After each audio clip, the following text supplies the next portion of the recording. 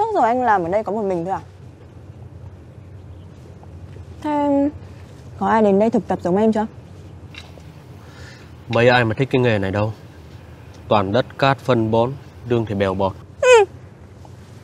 Ai mà nghĩ thế à? Là sai rồi Sai ở chỗ nào Thế ai bảo cái nghề này toàn là đất cát phân bón nào? Chúng ta là những nhà nghiên cứu để tìm ra cách thức giúp cho bà con nông dân canh tác một cách hiệu quả, tiết kiệm nhất. Nền nông nghiệp của nước nhà ấy có phát triển hay không? Tất cả là nhờ chúng ta. Sao anh lại cười?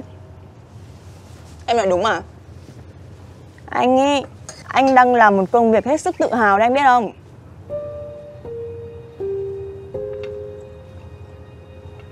Còn em.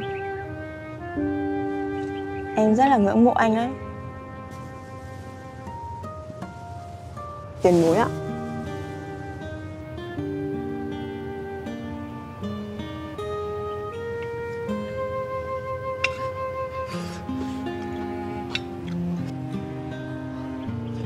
Tiền lương của anh Anh giữ lại 500 Để tiền sang xe. Anh cầm cả đi Cũng có được bao nhiêu đâu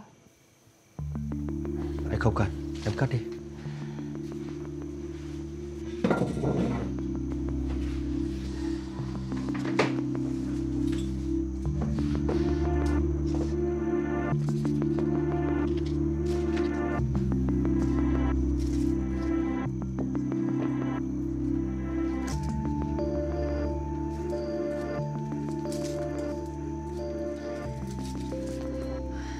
Em nghĩ hay là thay đổi công việc đi.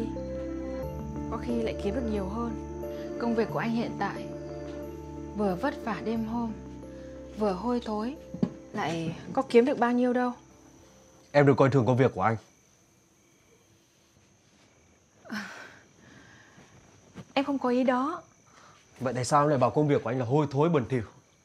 Nhưng với người khác nó là mùi thơm Mùi của hữu cơ Mùi của khoa học Mùi của sự sống. Mà thôi Nói với em mấy điều này cũng vô nghĩa. Em thì lúc nào chỉ hàng hóa, tiền bạc. Đi ngủ đi.